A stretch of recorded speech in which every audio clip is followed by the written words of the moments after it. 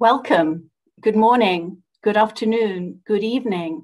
Thank you all for joining us today for our Monash Prato Dialogue Distinguished Lecture Series in Artificial Intelligence. I'm Professor Joanna Batstone, the Director of the Monash Data Futures Institute at Monash University, and I will be your host and moderator. Before we begin, I wish to acknowledge the traditional owners of the lands on which we're in essence virtually gathered here today I pay my respects to their elders, past and present.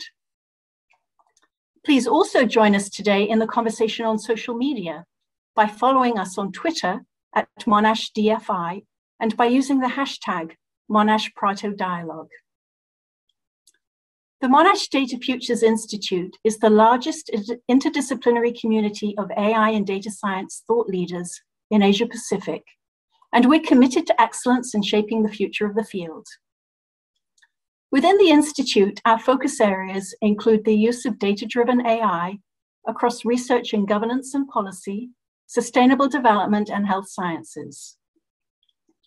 This new Monash Prato Dialogue Distinguished Lecture Series aims to explore the evolving impact of data science and AI in society by fostering a global dialogue.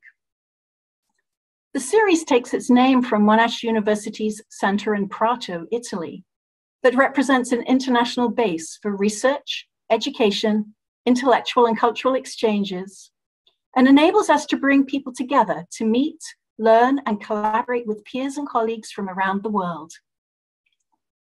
You've joined us today for the third lecture in this series, where we are very pleased to host Professor Virginia Dignum. Professor Dignum is the Professor of Responsible Artificial Intelligence at Umeå University in Sweden and she's also associated with TU Delft in the Netherlands. She's the scientific director of the Wallenberg Program on Humanities and Society for AI, which is the largest Swedish national research program on fundamental multidisciplinary research on the societal and human impact of AI. Professor Dignum has received many awards and recognition for her work, including the 2006 prestigious Veni Grant by the Dutch Organization for Scientific Research, and she's a founding member of the Dutch AI Alliance.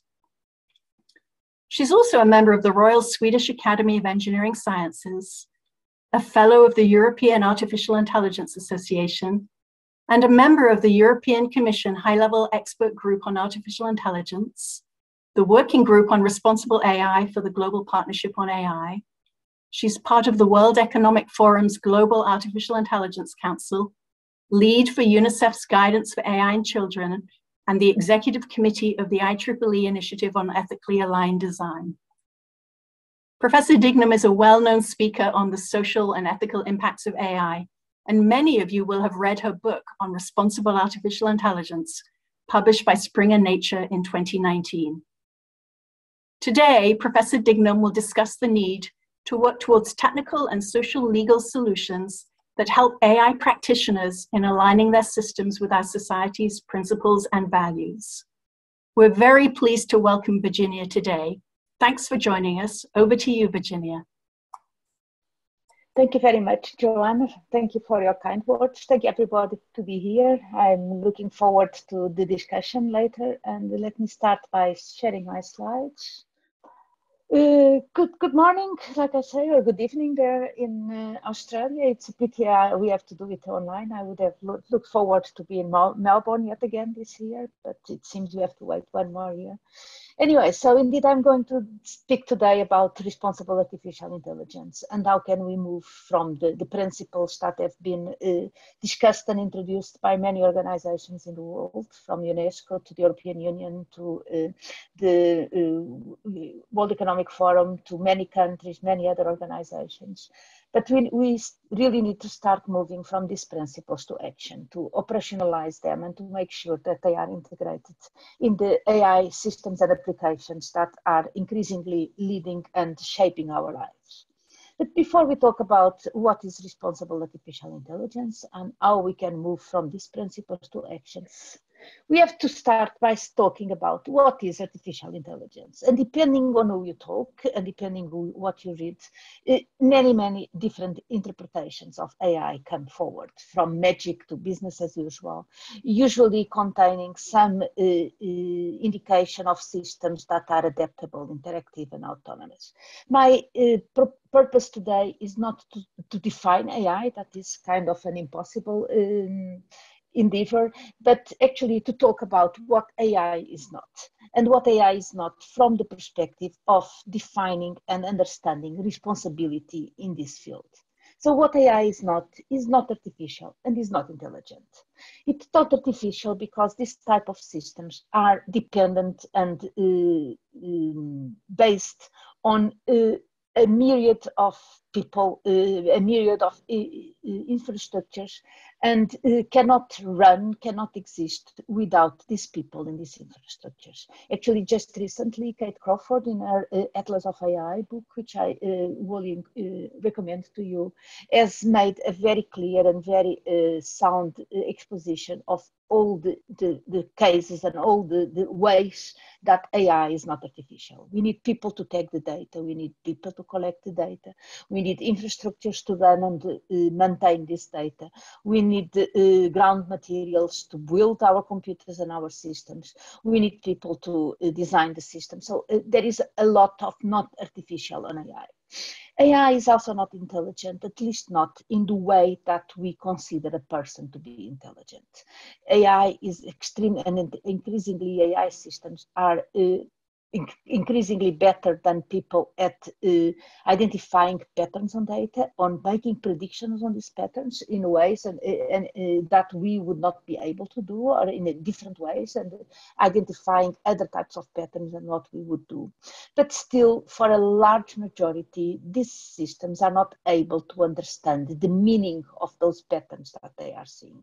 They can identify cats in pictures, they can identify identify cancer cells in scans. They can identify all kinds of um, um, um, relations in data, but still they will not be able to tell you what is a cat and why is a cat different from a cancer cell. Uh, so intelligence is quite far from these systems. Also, if we consider that human intelligence is not just about ability to perform cognitive tasks, but also is about emotional social and biological uh, intelligence. And there, these systems are really, really, really very far from, um, fr- from being intelligent. But it's okay. It's not what we uh, actually expect from these systems. But what is important to realize is that all any AI system is not alone in itself, doesn't stand in itself, and it's part of a social technical ecosystem. It contains the people, the organizations, the institutions that develop, run, and govern this type of systems. So when we talk about responsible AI, we do need to address not the, the software, not the technical system, but really this social technical environment in which the system exists. We have to address the organizations, the people, the institutions alongside as trying and aiming to develop uh, responsibility and um, uh, ethical behavior or legal behavior by design.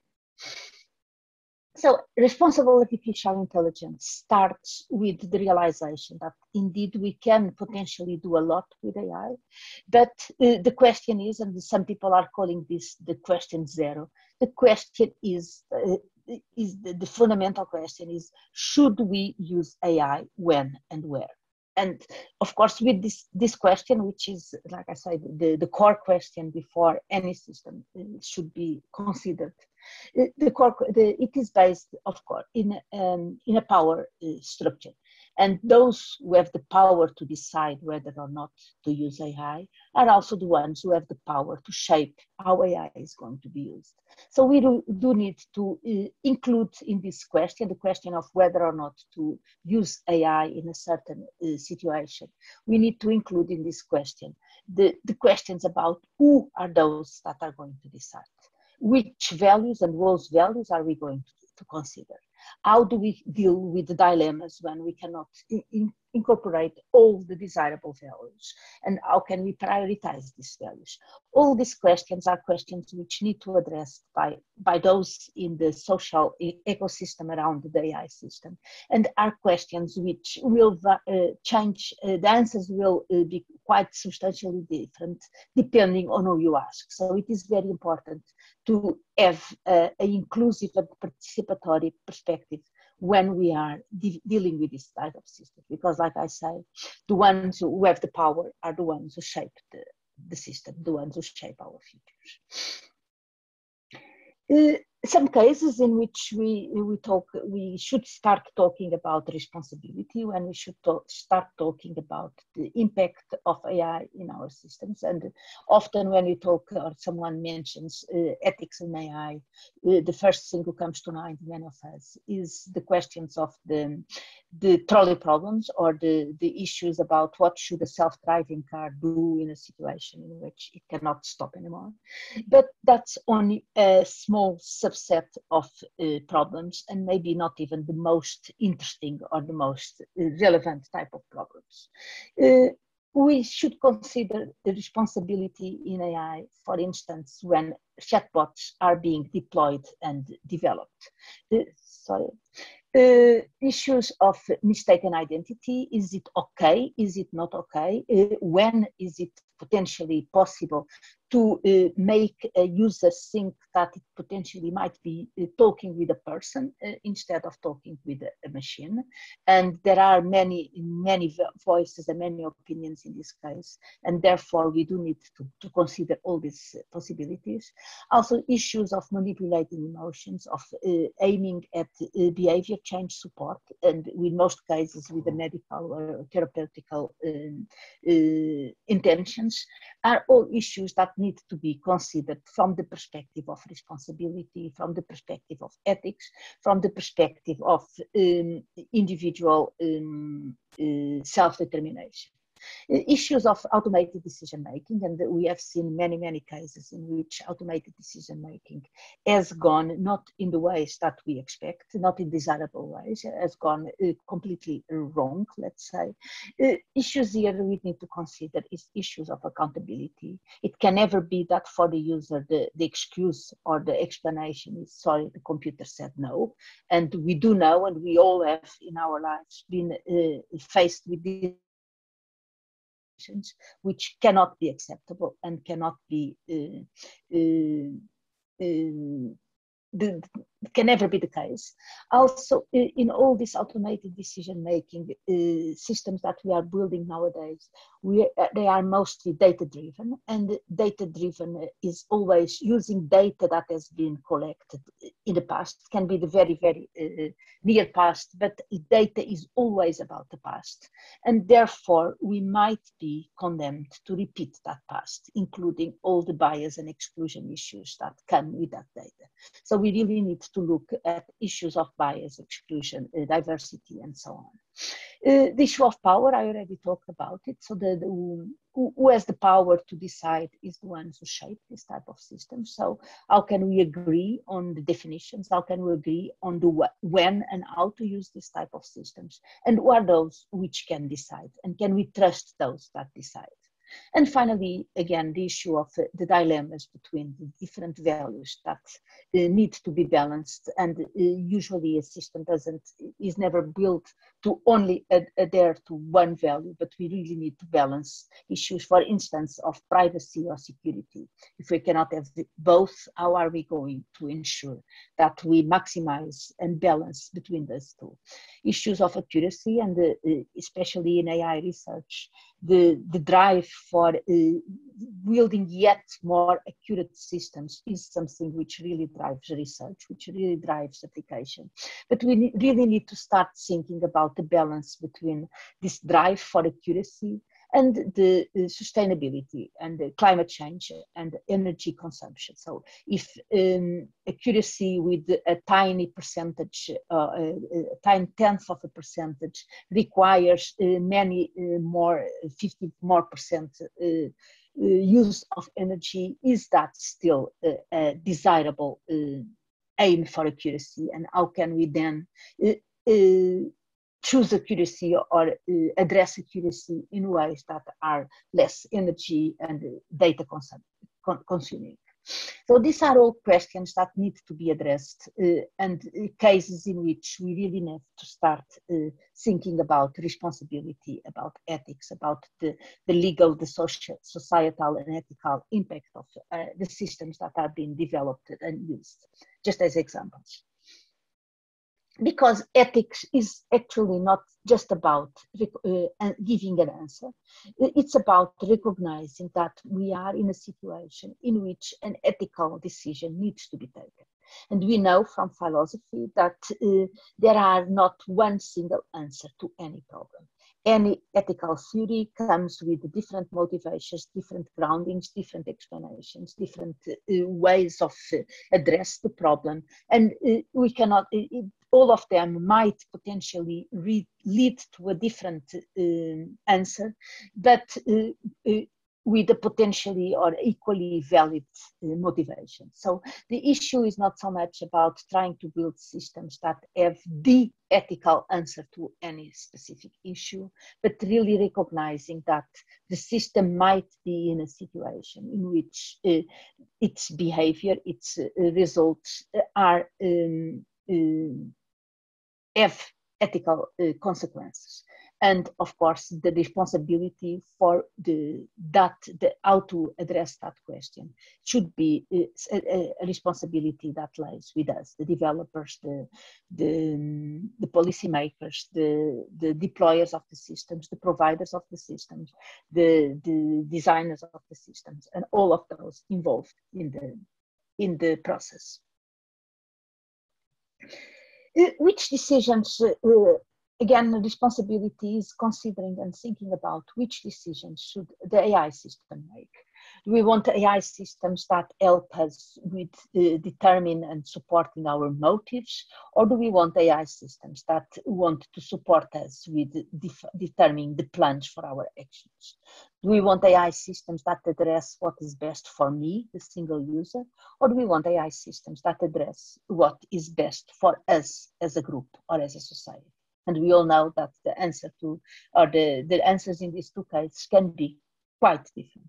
At the same time, we really need to address the issue of uh, uh, consider that uh, in many cases the, the, the situations, the, the answers, the, the possible um, ways to address the situation require to understand that not every time every, things that are morally acceptable are also socially accepted those cases, and also in many cases, and uh, along uh, uh changing with time, changing with culture, changing with the region of the world, what is ethically acceptable is not always uh, legally allowed, and what is legally allowed then is not always morally acceptable. And you just have to think about issues of uh, death penalties, issues of um, smoking in public as well, and all issues that have changed their um, their position in this space. And as well, like I referred already before, we do need to address the situation in which we cannot have it all, in which we have to make a choice between different values, and we have to prioritize these values in uh, different ways. And all these decisions are decisions which are part of the design of the systems, are part of the running of the systems, but cannot be solved by the software system itself. And in, in a sense, is, are issues that we have dealt in many other uh, uh, types of systems that we people have developed before. So we, we do are aware and we have many cases in which systems, complex systems that have been developed, and I'm not talking now only about software systems, but about many other types of societal and uh, organizational uh, systems. Uh, we know that the impact, the, the, the, way we design these systems impact the way decisions are taken, decisions are uh, perceived, which then impacts the society or the, the group, the, the, the environment in which these systems are uh, acting. And again, depending, the society will depend on the type of designs that are available.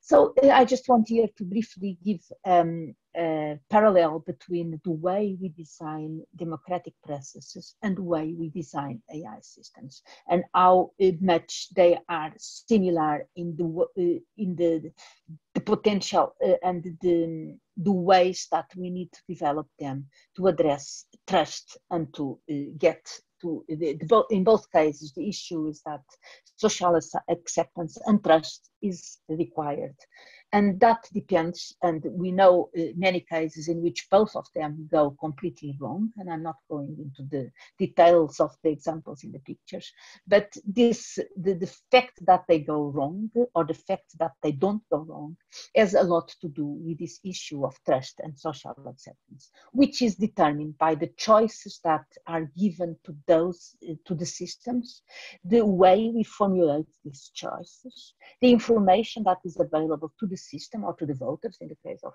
democratic systems in terms of the, the ways that they can uh, understand and address those choices they need to make. It also depends a lot on the involvement of those uh, which are able to take the decisions, the legitimacy of those that are putting the system forward, and the way that the system aggregates the different opinions and the different uh, views on how uh, the solution uh, let's say the, the result needs to be uh, calculated. And uh, we have uh, understood for many years how to deal with that in democratic processes. And I think that we can learn from the, the way that we develop this democratic process uh, in the ways that we need to address the development and design of AI. And that means that it's not about being 100% correct, not being accurate at all costs, but really to understand how to uh, combine uh, accuracy with acceptance and trust because there are many concerns and uh, many of these concerns are, have been uh, addressed by in many in many different ways in uh, in by, by many authors by many many organizations. The issues of bias is one which is increasingly more more relevant more important and how much does the training data for the ai systems reflect those that are going to use or are going, to be uh, the focus of the decisions of the systems. And how can we ensure that uh, all are included in an equal and uh, balanced way in the data uh, that is used for the training? Issues of explanation. We do need to uh, develop explanations increasingly in a more user-centered ways not giving the, the explanation that is the most um, easy for the developer to achieve, but one which is uh, just in time, clear and concise for those that are requiring the explanation, so it needs to be contextual. Uh, issues of diversity, and especially diversity in the ones that are developing AI systems, and I just have there some numbers. They are a bit old, but I don't think, unfortunately, that much has changed in these numbers. But also about the motivations and the drive for those that are developing and um, uh, deploying AI systems. We really need to have a much bigger diversity of motivations and a much, bigger diversity of those involved in deciding on the on the motives, on deciding on this question zero that I just uh, talked about. Also, issues of sustainability, something which the last few years really has been uh, increasing in uh, in the discussions. What is the cost of AI? How much is AI uh, able to help us solve our problems or is AI adding to the problems, for instance, in climate change and, so on. So we really need to address that and numbers, at least from some, uh, some studies, are not really very um, encouraging, like you can say in the picture. So responsible AI about understanding that we have to develop AI systems, we have to use AI systems in ways that are lawful, aligned with the law, that are ethical, aligned with the, the ethics and the morals and the, the values of the societies and the, the human rights uh, of uh, people in general. Uh, we also, but it's also about uh, realizing that these systems need to be uh, reliable. We need to build systems that can be trusted, that are robust, that are uh, uh computationally sound. Also understanding that systems should be beneficial. And here again comes the discussion about beneficial how and beneficial for whom. But again, from the perspective of those that develop these systems, those that are deploying these systems, we need to ensure that the systems are verifiable, that all of this, that the lawfulness, ethical, ethics, reliability, and so on are verifiable in ways that can be uh, explained and uh, motivated to others. So if you go back to the original picture of the, this social technical ecosystem, including the AI, uh, AI systems, then uh, responsibility is about ensuring that uh, there is somewhere where responsibility is defined in every time that we are developing autonomous systems that have some level of autonomy, that there is some transparency when we are developing systems that adapt, that learn, that change, that uh, update themselves, and that there is some accountability when systems are interacting with us and are interacting with the environment. How we develop these issues is uh, the the focus of the work in responsible AI, and it's definitely not uh, um, an answer or a solution that is only uh, technical. We really need to look at accountability, responsibility, and transparency, the so-called ART principles, to look at them not only from a technical, uh, computational perspective, but mostly from a societal perspective, an organizational and a policy perspective. And indeed, there are many organizations which are aware of these issues.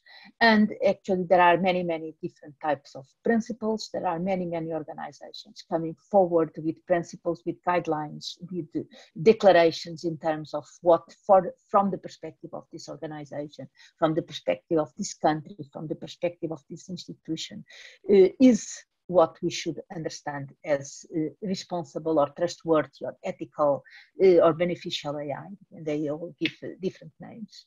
Uh, the good news is that, yes, it's good that so many are uh, aware of the need for this type of uh, um, of uh, definitions.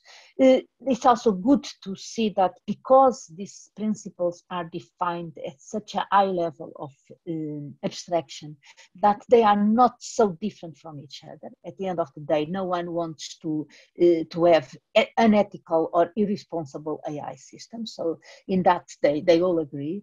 Uh, the issues are a lot in the details, but the most, and I think the most important issue today and uh, for the for the coming time is to understand how to interpret and how to guarantee that this type of principles of fairness, of human rights, of accountability, of uh, security and safety, and so on, how are we translating these issues into the systems that are being used and developed? And again, I'm talking about this social technical system and not just about the software because these principles at the end of the day are principles for us, not for the software itself.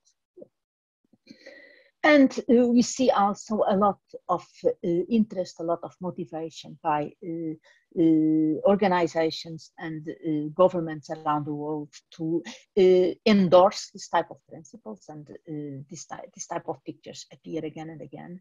But in a sense, endorsement is just a start. It's not yet compliance and is not yet the guarantees to operationalize this type of issue. So we really need to move from this endorsement, from the definition of these systems into compliance and into operationalization. There are many different proposals, and they, uh, they, there is a lot of work on this at the moment. There are issues of regulation, so let's uh, define regulations, define laws that uh, uh, guarantee the type of systems that we want to see and that we, we see here in Europe. Just a few months ago, the European Commission has launched this AI Act, which is now uh, soon to be discussed at the European Parliament. So it's a, a human-centered, risk-based approach which aims at regulate AI systems as we want them to be developed and used within the European uh, uh, Union. Uh, within the European Union. But there are regulation is definitely not the only way to address uh, operationalization of responsibility and accountability. Uh, there are many organizations working on standards uh, from the IEEE, the ISO, and other ones, which are in a sense ways that organizations, that company, that corporates understand, because standards is, is standard in the in the operation of corporates. So it's a, it's a way that it's also taking a lot of traction. Uh, in many, especially in larger industry, larger corporates, the, the multinationals are coming forward with advisory panels, ethic, uh, chief ethic officers, and so on, which are able to, within the organization, set and monitor their ethical guidelines, their principles. Of course, we have seen in the media uh, many cases in which this goes potentially wrong, in which this might be considered ethics washing, but still there are sufficiently um, uh, evidence that organizations uh, are uh, taking this seriously, and this is an option that needs to be considered as a way to uh, ensure from uh, um, institutional organ, organizational perspective, adherence and monitoring of uh, ethical principles. Then there are a lot of work also in assessment tools, assessment uh, uh, um, frameworks to, uh, to check the maturity, to check the level of uh, development of different uh, types of responsibility and um, accountability in AI systems. we need to understand that responsible AI is much more, much more than just ticking boxes in a list, but we do need to work increasingly in this these uh, means and uh, metrics to assess the maturity and the level of um, uh, the ethical uh, principles uh, within a certain system. Uh, and uh, of course, at the basis of it all, and it's a, a, work that really requires urgent attention and much, much more work than what is happening now, is the issue of awareness and participation. If people are not aware of what AI systems are, what AI systems are influencing their lives, uh, how they can participate, then of course uh, they remain outside of the discussion, remain outside of the, the participation so we really need to uh, increase the efforts to uh, create aware, raise awareness in, uh, all, uh, increase the, the the efforts to provide uh, more multidisciplinary education, both to those, the engineers who are developing the systems, but also for others in other disciplines, in humanities and the social science, to understand that they do have um, a task to perform in the uh, definition, in the, uh, the, the, setting the responsibility and the um, uh, accountability and ethical, uh, ensuring that AI systems are developed in an ethical uh, way aligned with human rights. It is also important to realize that responsibility, that ethics, that all these uh, discussions is definitely not against innovation. And that is uh, um, uh, complaint that we hear, especially from uh, industry, a lot. That yes, it's great that you come with all these regulations, with all these uh, proposals for the guidelines and the um, principles, but at the end of the day, that is going to be against our potential for innovation. I really like to to say to go against this type of beliefs. I see that innovation and uh, regulation and um, uh, this type of principles, if set well, if set with uh, the, can be really seen as an incentive for, for innovation as a stepping stone for innovation. So if we uh, cannot develop systems in one way or another because that is perceived as being less responsible, less uh, not uh, inducing of fairness and uh, uh, potentially uh, repeating biases, if that is not possible with the technique that we were planning, then this is from a research, from an innovation perspective, exactly the way to, uh, to start thinking about alternatives, to innovate, to create those alternatives when they are potentially then not at this moment.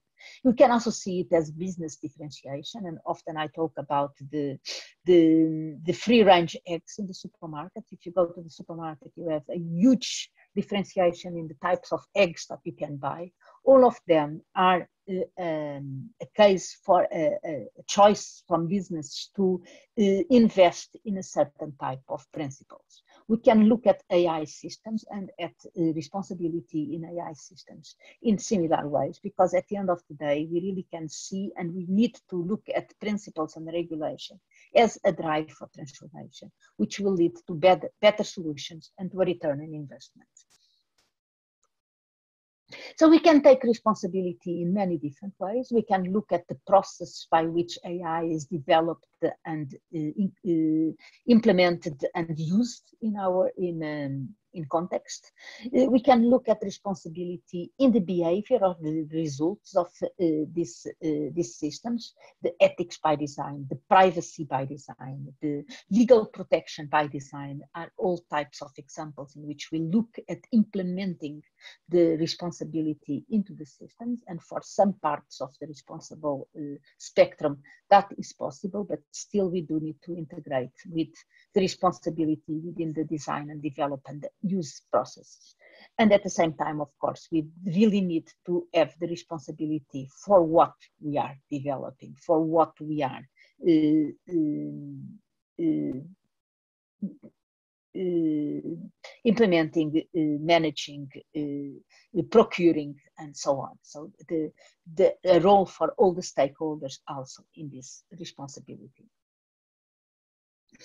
Uh, ways to do it, and there are several uh, approaches. For instance, one which is very much uh, used and in which I also have worked quite a lot, especially, and it's also very um, very much focus of the research at the Delft University of Technology is this design for values methodology, is understanding that the, this high level abstract values, uh, understanding and implementing this uh, and using these high level abstract values like fairness, like privacy, like justice requires uh, interpretation into the context. And this interpretation then needs to be implemented into the specific uh, functionalities of the systems. All of this interpretation and implementation are choices, and given that are choices, there are possible alternatives. So we really need to look at ways in which we can make this evaluative, measurable, and implementable, and also a comparable one. Uh, the, the, the, different choices and the different op, the different um, uh, options uh, need to be compared and measured uh, along many different types of criteria. Uh, so it's, I have referred already before the fact that values are abstract and high level, that we really need to focus on understanding of uh, making these choices and these interpretations explicit and contextual, and also making our uh, efforts to transparency and to explanation, again, being explicit, contextual, and uh, allowing for the different interpretations in the different contexts. What we are seeing nowadays is that efforts at algorithmic transparency and explainable AI often focus on the implementation only and are not su suitable to understand this uh,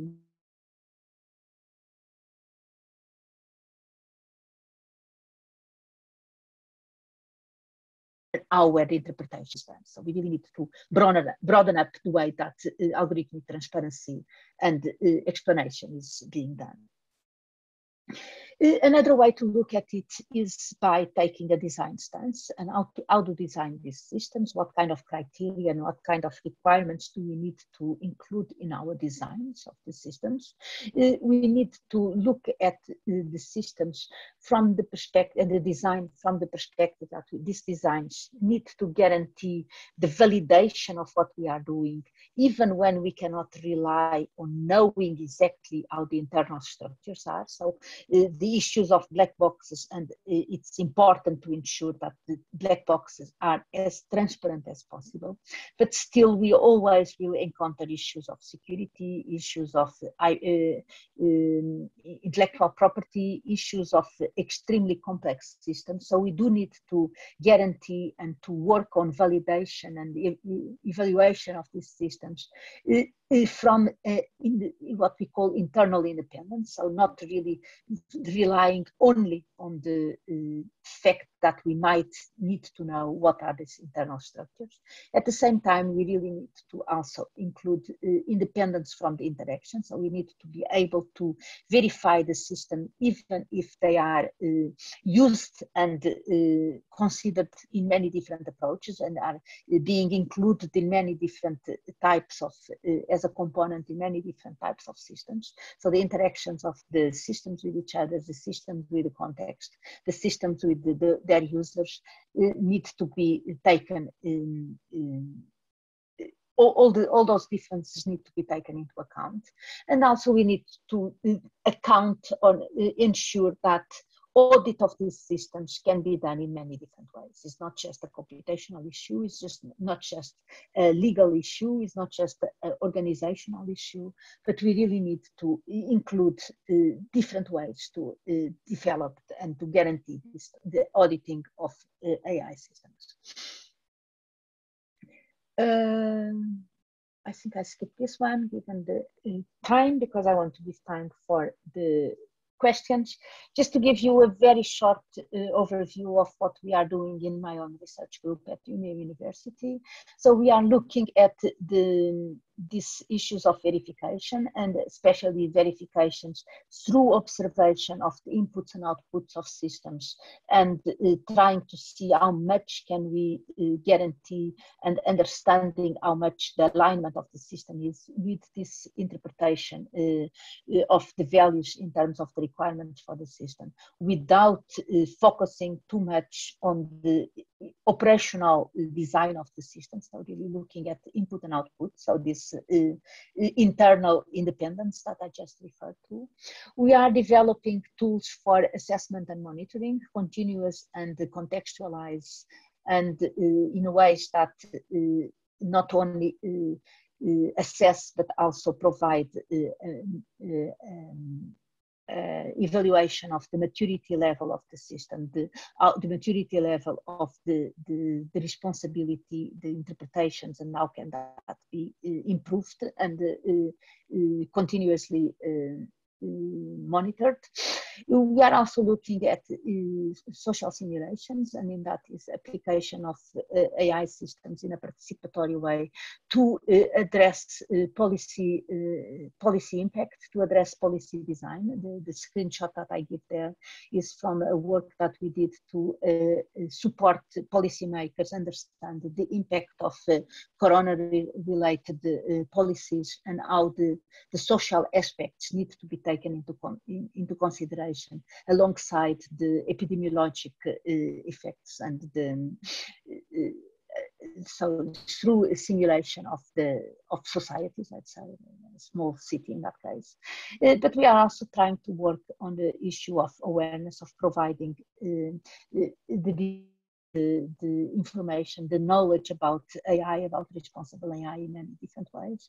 We have this uh, series of uh, seminars on every Friday at lun European lunchtime. So for you, it's probably not the best time of the day, but it's a 45 minute discussion every, every Friday. And we have had uh, participants from industry, from uh, research, PhD students, uh, top professors, top researchers in the world. The, tomorrow will be um, uh, talk by the responsible AI department at the H- H&M um, organization, the, the clothes uh, company. Uh, so it goes all over the, and all over the, the, the, spectrum, and it's quite it's open to everybody, and it's usually a very lively discussion. So this just to give you a, a very short flavor of the type of research and efforts that we are doing. But I would like to finalize now with this uh, plea for a much more uh, multidisciplinary uh, way forward. So we really need to include, like I said at the beginning, not on the technical disciplines. The, as an engineer, we cannot answer all the questions and all the issues that uh, come from taking into account responsibility and uh, accountability and ethics, legal and so on. So we really need to uh, ensure that there is uh, across the range, across the disciplines, the need to understand the and critic, critic, critical uh, understanding of the unforeseen, the positive and negative consequences of AI.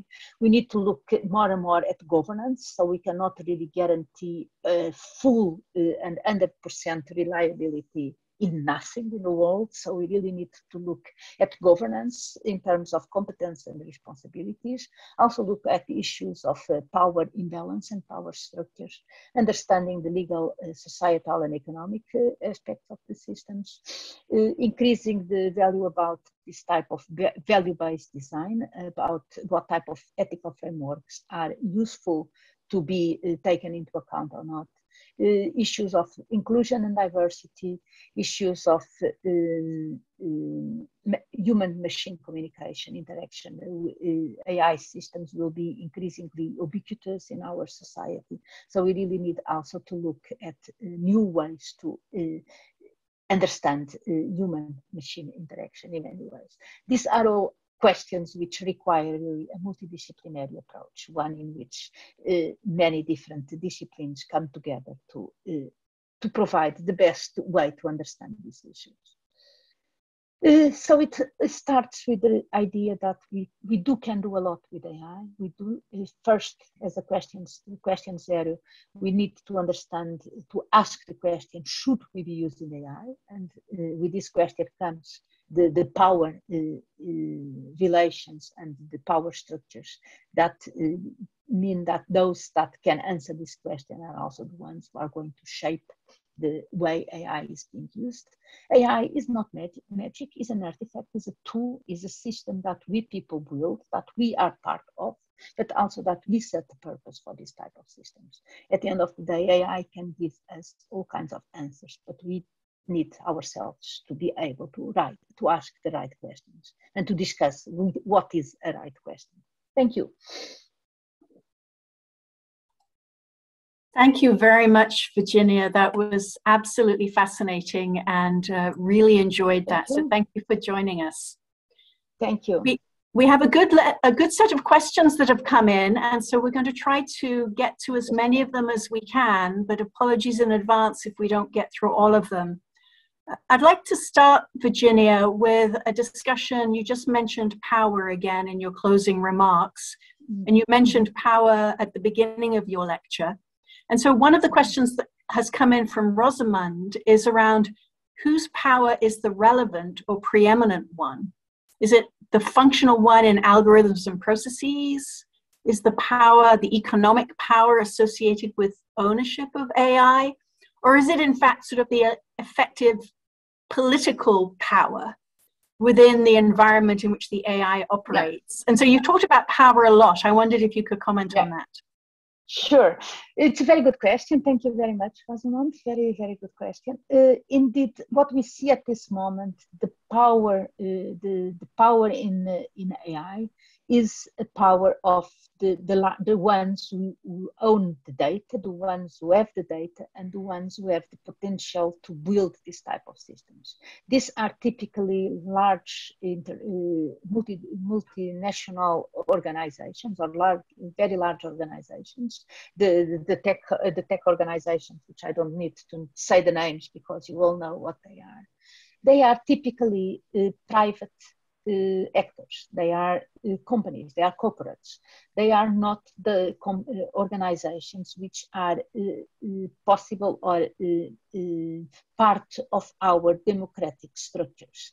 So we do see an increasing imbalance between the power that these companies have to determine what AI we are using, when are we using AI systems, how are using AI systems, and we are seeing a, a divide between this power and the political power, the democratic, the, the power of the democratic elected governments and organizations to monitor, to uh, to audit, to uh, regulate this type of organizations. And this is growing.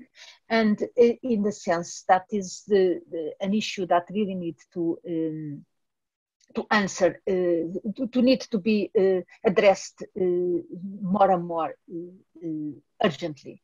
There is this new uh, new organization, the Global Partnership on AI, which has been launched by it started with the G7 countries, the, the seven uh, most industrial countries in the world and the European Union, uh, and is now including many different countries across the world. And their ambition is really to uh, to include as many countries in the world as a, a partnership, as a, a way to uh, start the dialogue with the, those that are developing the AI, AI systems, those that are owning and managing the data, to start that dialogue in a more balanced and equal uh, foot, uh, footage way. So there, there are efforts there, but indeed we are seeing that the power is not where the democratic uh, uh institutions are at this moment. Thanks very much, Virginia. Another interesting question from Leo that's just come in, uh, very relevant to this discussion around ethics. And the question is why should we expect ethics in AI systems to be any better than ethics in all of our pre AI systems? I mean, is it really the same question? No, we shouldn't. I mean, uh, the, the, AI systems has no ethics other than the ethics that we uh, build into it. Uh, they don't they, they are not better than us in ethics. They can be, it's also like I say, the, the ethical answer can never be answered by the, the software, by the AI system. It's an answer and the responsibility for us, for our organization. So the, even if the system, uh, whatever the, the, the answer, whatever the result of the system, the interpretation of this result needs to be uh, one which is uh, done by, by human organizations, by the so, social ecosystem around it.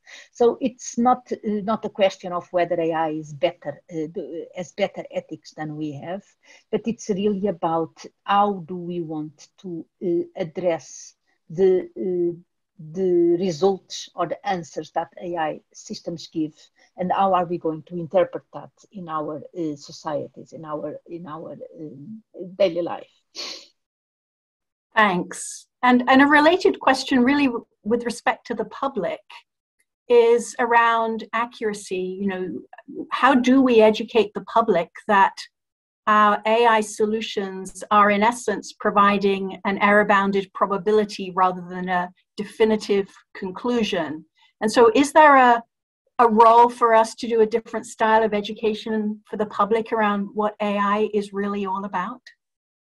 Uh, definitely, when the, uh, I start my uh, my presentation by saying that AI can go all over, from the magic to the business in, in as usual, and the public tends to be in one of the two extremes. So those who are not directly involved in the development, the design, or the study of this type of systems in one way or another, from whatever discipline. So let's say the the, the person in the street. Uh, tend to be uh, believing one or the other extreme, believing that it's some kind of magic. You don't really understand what it is, but it seems to do some things correct. We just have to uh, to accept what it does and a, kind of a crystal ball.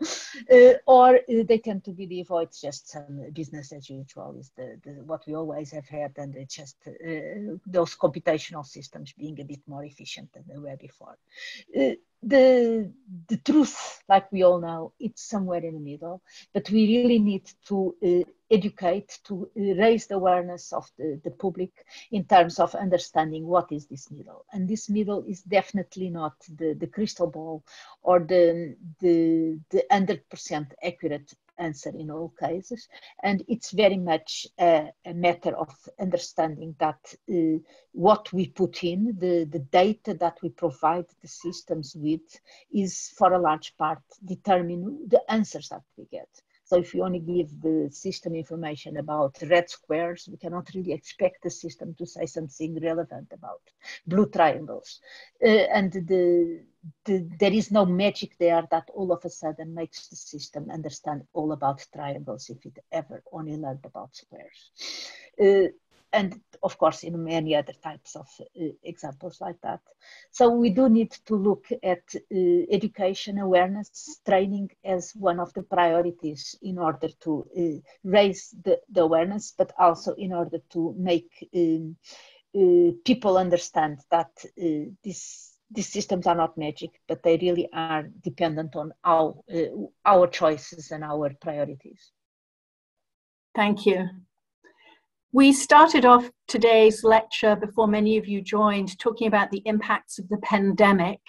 And for those of us in Australia, we are looking forward to exiting lockdown. And I'd like to turn now to a question from Alan about the impacts of the pandemic on the use of AI. And particularly, it seems that COVID 19 has really accelerated the application of AI in many areas, particularly in the areas of health, for example but it's also been accelerated in the areas of surveillance, for example, track and trace and checking into the grocery store or checking into your hotel or into the train station. And so, is that something to be concerned about? The fact that there is this AI enabled surveillance? And how should we handle that in the context of trust and responsibility? Thank you. Thank you very much. Thank you for the question.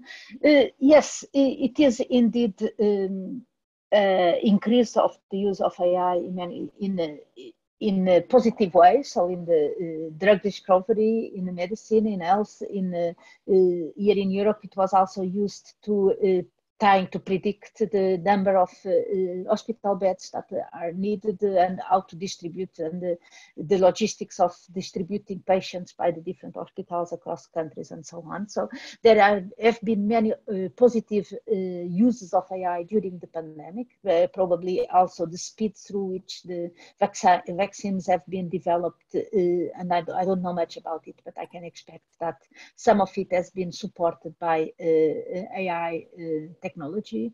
But indeed, at the same time, we see increasingly effort in terms of, or increasing use of AI in terms of uh, uh, surveillance, in terms of uh, control uh, mechanisms.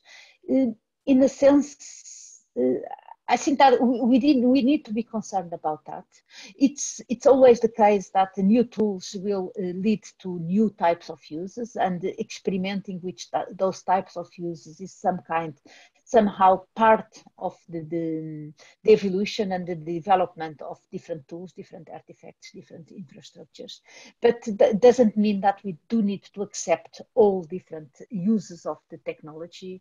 And we, we definitely don't need to use to accept any uh, ways in which technology is used that infringes on human rights. Again, here is a balance between the many different human rights, the, the, the right to safety and the, the security, the, the needs to be balanced with the right to privacy. But need, this needs at least to be done in an uh, explicit way, in a transparent way, and in a way in which each of us has the choice to not participate or not join uh, if the if you do not wish that so we need to in in, a, in one end yes people will be uh, experimenting with uh, what are the potential of AI for certain things. We do need to balance and to understand that there is a, a conflict, potential conflict between many different uh, rights and principles, but at the same time, the, the right to not participating is one which, and to be explicitly informed of the, the use of systems is one which really need to be central. Thank you. Thank you. We have time for one more question here. And, and so I'm going to turn back to more of a technical direction, particularly in the context of all of the data scientists who might be in the audience listening in today. Uh, you've talked a lot about value and choices. You've talked about data exploration and feature selection, model selection within the pipeline of development for AI. But if you think about the world of data science, data science and data scientists as practitioners, they're moving back and forth through all of the different steps and choices around data ingestion and data modeling and model development. But how do we how do we get the population of us who are involved in data analysis to stop and think about how to incorporate all of these considerations in the decision making as we work through that data science pipeline. Is it as simple as going back to the fundamentals of education, or is there something else we should be thinking about? Ooh, good question. Uh, definitely, education is uh, crucial here, and understanding that uh, data accuracy is yet one of the principles to aim for, but not the single uh, principle. We do need to uh, understand that we need to balance accuracy with many other principles, uh, privacy, with uh, sustainability, but also with uh, fairness and so on. And the, the, the, it's not always the case that more data uh, gets directly to better uh, results. So we really need to start understanding how to uh, balance, uh, like I say, accuracy and the amount of data with um, other uh, other values and how to, to make these this informed choices. So it's it's one of education is one also of incentives. now, as data scientists, the main incentive incentive is indeed that of accuracy. But if the main incentive would be for instance, which someone are calling intelligent intelligence by joule, so uh, intelligence by the use of energy, uh, probably we would get to other results. So I, I would encourage data scientists to really uh, create or exploring different incentives and uh, large uh, conferences in this field really can start having some uh, some tracks or some uh, competitions in which we look at uh, comparing and uh, solutions comparing approaches not from the perspective of just the accuracy but come up and with other ways to to compare and to measure and to validate our our designs Thank you so much. Um, I'd like to conclude now by giving tremendous thanks, Virginia, for leading this lecture today in the Monash Prato Dialogue series. It's been an absolute pleasure to host you. It was my pleasure. Thank you very much for inviting me. And if there are questions, please feel free to contact me either through social media or through email. I'm always happy to answer. Great. Thank you very much for that generosity. And before we close, everyone, I'd also like to invite you to our next lecture in this series on the 18th of November, where we will be hosting Professor Rayid Ghani from Carnegie Mellon University in the United States. And Professor Ghani will be giving a lecture on doing good with AI fairly and equitably. We'd also like to invite all of you to stay engaged with the Monash Data Futures Institute and to attend our upcoming events. And we encourage you to follow us on social media, both on LinkedIn and Twitter, and to join our mailing list by signing up for our affiliation program through our website. And you can also visit our website for additional information about the Institute. Thank you again for joining us today. You've been a wonderful audience, and I look forward to welcoming you again to our future lecture series to join in these valuable and provocative discussions. Thank you again, Professor Dignum, for a great event today, and goodbye, everybody. Thank you very much.